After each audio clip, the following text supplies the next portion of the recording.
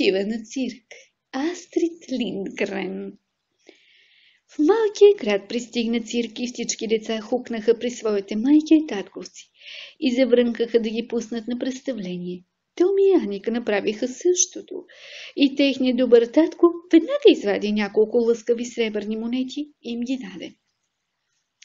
Стиснали здраво в длани парите, те нахълтаха у Пипи. Тя беше на верандата при коня и сплиташе опашката му на тънки пличици, които кичеше с червени панделки. Днес той има рожден ден, ако не се лъжа, каза им тя. И за това трябва да й докарам. Пипи, каза задъхано Томи, защото беше тичал много бързо. Пипи, искаш ли да дойдеш с нас на цирк? Мога да дойда с вас, къде ли не, каза Пипи. Но дали мога да дойда на цирк, не знам, защото нямам представа какво е това цирк. Боли ли там? Колко си смешна, засмя се Томи. Как ще боли?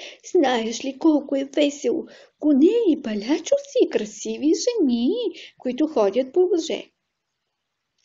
Но струва пари, каза Аника и разтвори ръчичките си, за да провери дали лъскавата монета от две крони и двете по 50 йоре са още там. Аз съм богата като вълшебник, заяви Пипи. Все ще мога да си купя един цирк, макар че ще стане тясно, ако имам повече коне. Палячовците и хубавите жени някак ще набутам в килера. Но тая работа с конете ще бъде по-трудна. Штуро ти, каза Томи. Кой ти каза да го повиш цирка? Трябва да си платиш, за да гледаш, разбираш ли? Гледай ти, възкликна Пипи и зажумя. Да нима гледането струва пари, аз по цял ден се разхождам и зяпам. Кой знае колко пари имам да давам за това? След малко тя внимателно отвори едното си око и започна да го върти на всички страни. Да струва колкото си ще, каза тя, но просто трябва да погледна. Най-сетне Том и Аника все пак успяха да обяснят на Пипи какво е това цирк и тя отиде да вземе няколко златни парички от своята чанта. После си сложи шапката, голяма колкото колело, и тримата се запътиха към цирка. Навалицата се блъскаше пред купола, а пред гишето за билети си виеше дълга опашка. Постепенно дойде рети на Пипи. Тя вмъкна глава в прозорчето, спери в поглед добродушната стара дама, която седеше зад гишето и попита. Е, колко струва да те погледа човек? Но старата жена беше чужденката и че не разбра какво е каза Пипи, а отвърна. Малко, момиче, струва пет крона на хубав място – три крона на по-лош място и една крона на правостоящ. Аха, каза Пипи, но тогава ще обещаеш да ходиш и по въже. Тук се намеси Томи, който обясни, че Пипи иска билет от по-ефтините. Пипи подаде една златна паричка на старата жена и я заоглежда недоверчиво. Дори я захапа, за да се убеди дали наистина е златна, и едва тогава Пипи получи своя билет. Освен това получи много сребърни пари като ресто. Какво ще ги правят тия грозни малки бели монети? Негодуваше Пипи. И аз си ги задръж. Аз ще ти погледна два пъти. На правостоящ. Тъй като Пипи решително отказа да вземе рестото, дамата замени билета и срещу билет на първи ред и даде билети за същия ред и на Томи и Аника, без да им вземе пари. Ето как стана, че Пипи, Томи и Аника се настаниха на чудесни червени кресла точно на арената. Том и Аника се обръщаха много пъти, за да помахат на своите си ученици, които седяха много по-назад. Ама, че странна колиба, отбеляза Пипи, като се оглеждаше смаяно. Но както виждам, са разсипали талаш в пода. Не, съм древнава, но го намирам за немърливост. Той ми обясни, че по всички циркови арени имат талаш, за да тичат конете по него. На специален подиум се беше разположил оркестърът на цирка и внезапно се разнесе бодър марш. Пипи бурно запляска сърце и се подскача възхитена на стола си. Изслушването ли струва пари или то е безплатно? Попита тя. Същия миг дръпнаха завесата от хода за артистите и директорът на цирка, облечен в чер фрак и с в ръка, се появи на арената последван от 10 бели коня. С червени пера на главите си, той изплющя с къмшик и конете обиколиха в тръс арената. После отново изплющя къмшика и всички коне вдигнаха предните си крака върху преградата, която ограждаше арената. Аз, Корнелия Николова, Кони, Кони приказкочет. Ви напомням да се абонирате за канала, натискайки червения бутон дясно и да харесате клиповете с различни произведения за слушане. Може да оставите коментари какви произведения бихте желали да качвам, мнения, въпроси относно канала. Кони приказкочет. Благодаря ви предварително за отделеното време. Един от тях беше застанал точно срещу трите деца. Близостта на този кон никак не се понрави на Аника и затова тя се отдръпна колкото можеше по-назад, на стола си. Пиви обаче се наведе напред, хвана коня за крака и му каза. Здрасти, как си? Да го поздрави от моя кон. Той също има днес рожден ден, само че му вързах пандюкти на опашката вместо пера на главата. За щастие Пипи пусна крака на коня преди директорът на цирка да изплющи отново с къмшика, защото тогава всички кони свалиха крак от преградата и пак започнаха да обикалят арената. Когато този номер свърши, директорът учтиво се поклони конете изтичаха навън. В следващия миг завесата се дръпна отново и на арената се появи катранен от черен кон, на чието гръб беше застанала права красива девойка, облечена в зелено купринено трико. Програмата пишеше, че се каза мис Карменисита. Конят се понесе в кръг по талаша, а мис Карменисита стоеше спокойно и се усмихваше. Но после се случи нещо. Так му когато конят минаваше покрай мястото на Пипи, нещо профучава в въздуха и това не беше някой друг, а самата Пипи. Тя застана върху коня зад мис Кармениста, което отначало така се слиса, че едва не тупна на земята. После се едоса и замахна с ръце назад, за да накара Пипи да скочи надолу, но не успя. Айде по-кротко, каза и Пипи. Няма само ти да се забавляваш я, има и други, които са си платили. Тогава мис Кармениста реши да, ско... да скочи, но и това не стана, защото Пипи я беше хванала здраво през кръста. Сега зрителите не издържаха вече и започнаха да се смеят. Беше наистина смешна гледка. Красивата мис Кармениста, здраво хванат от малкото червенокосо момиче, с големи обувки, което сякаш цял живот само беше участвал в циркови представления. Ала директорът на цирка съвсем не се смееше. Той направи знак на своите разпоредители с червени униформи да спрат коня. Свърши ли вече номерът? попита разочаровано Пипи. Так му когато стана толкова весело. Проклето дете, процеди през зъби директорът. Махай се! Пипи го погледна отчаяно. Но защо ми се сърдиш? Аз мислех, че сме дошли да се забавляваме. Тя скочи от коня и се върна на мястото си. Веднага дойдоха двама едри разпоредители, за да изхвърлят.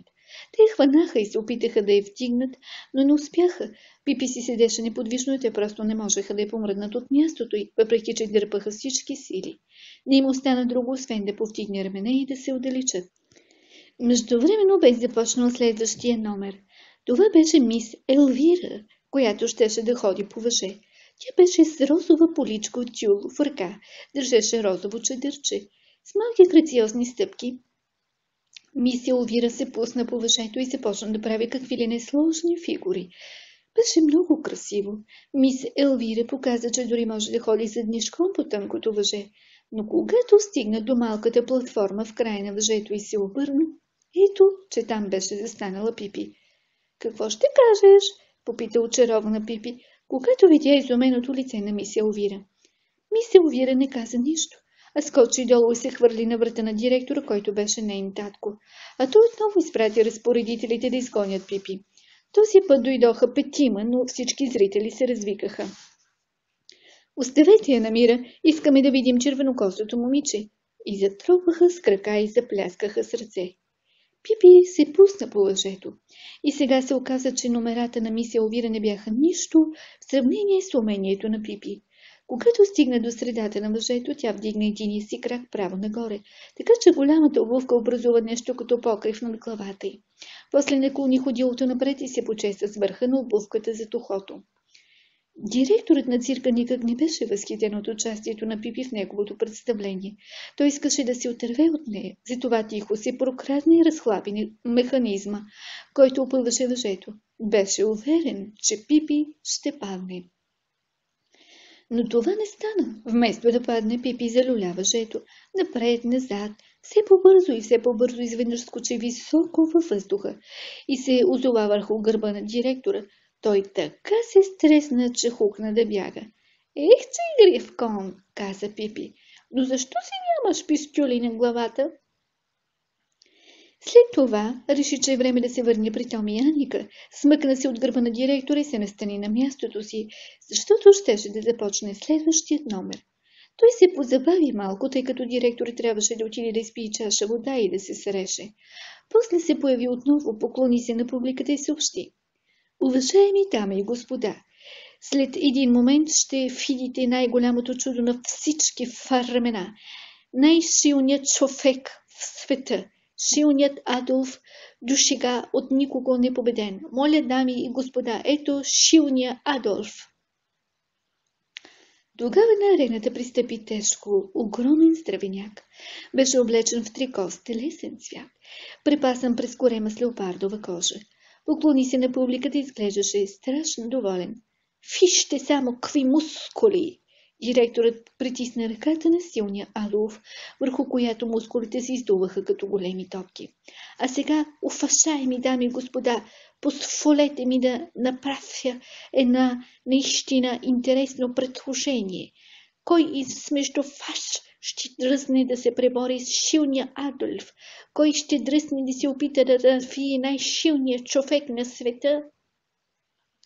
Храбрецът, който победи силния Адолф, ще получи сто крони. Помислете си, дами и господа, моля, заповядайте, кой ще излезе напред? Никой не излезе напред. Какво каза той? Попита Пипи. И защо говори на арабски? Каза, че който може да надвие оня мъжака, ще получи сто крони, обясни Томи. Аз мога, заяви Пипи, но ще ми е жал за него, защото изглежда добричък. Това все пак не може да направиш, възпротиви се Аника, че той е най-силният мъж в света. Най-силният мъж, да, отговори Пипи. А пък аз съм най-силното момиче в света. Ни заправяй това.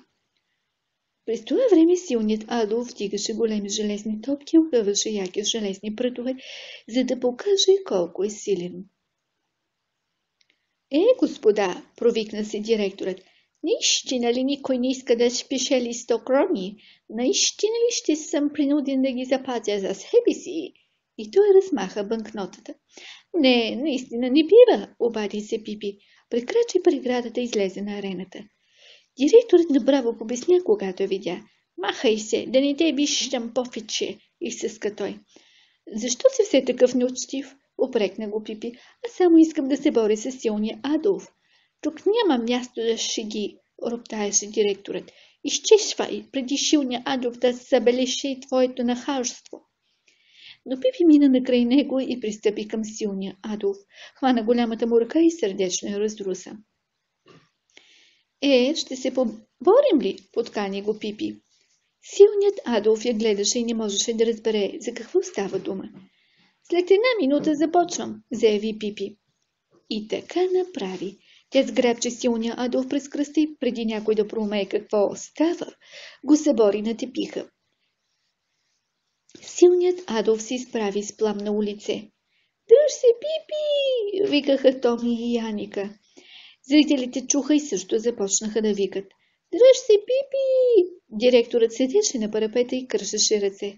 Беше много ядосан, но още по-ядосан беше силният Адолф. Откакто се помнеше, никога не беше му се случило такова ужасно нещо и реши да покаже на това червенокосо момиче, що за мъжага е. Силният Адолф той се хвърли към нея и хвана през кръстела Пипи, беше непоклатима като скала. Още можеш, окръжи го тя, но веднага след, след това изтръгна от хватката му и след миг силния Адолф отново се просна на тепиха. Пипи застана на страна да изчака, докато стане. Тя не чака дълго. Той се надигна с рев и се спусна към нея. Тралала, хопсаса, измърмори Пипи. Всички в цирка тропаха с крака, хвърляха шапките си нагоре и кръщяха. Дръж се, Пипи! Когато силният Адол се втурна към нея за трети път, Пипи го вдигна с изправени ръце над главата си, опиколи с него арената. След това пак го повали на типиха и го притисна към земята. Сега, драги чичко, смятам, че няма защо да продължаваме, каза му тя. По-весело, отколкото беше до сега, няма да стане. Пипи победи! Пипи победи! Викаха всички в цирка. Силният Адол светкавично се измъкна. Директорът на цирка трябваше да даде на Пипи стотарката, а си личеше, че с най-голямо удоволствие би е сдъвкал. Съповядайте, господите, каза той. Съповядайте сто крони. Фу, рече презрително Пипи. Какво ще правя тази хартийка? Дръж си и си опечи в нея чирози, ако искаш. И тя се върна на мястото си. Брей, че дълъг този цирк, каза тя на Томи и Аника. Няма да е лошо, ако си трегна малко. Събудете ме обаче, ако стане нещо и трябва да помагам. Тя се отпусна на стола и веднага заспа. И продължи да хърка, докато разни палячовци, гълтачи на ножови и окрутители на змии, показаха майсторството си пред Томи, Аника и останалите зрители в цирка. Но според мен Пипи беше най-добрата от всички, прошепна Томи на Аника.